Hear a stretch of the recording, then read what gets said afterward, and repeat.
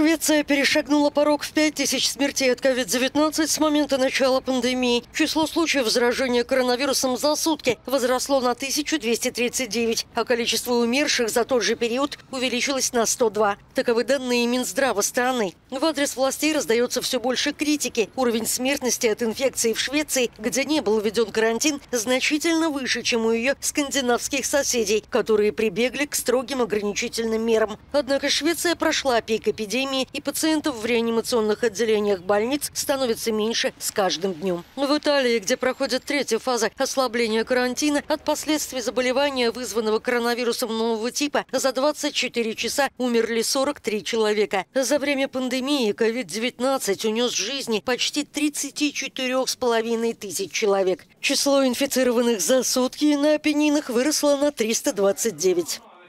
Рост числа инфицированных коронавирусом наблюдается в Португалии. В среднем в последние дни здесь выявляют порядка 300 заболевших, в основном в столичном регионе. В частности, вспышка инфекции зафиксирована в одном из домов престарелых в 100 километрах от Лиссабона. В учреждении заболели жильцы и сотрудники заведения. Число летальных исходов в Португалии превысило полторы тысячи.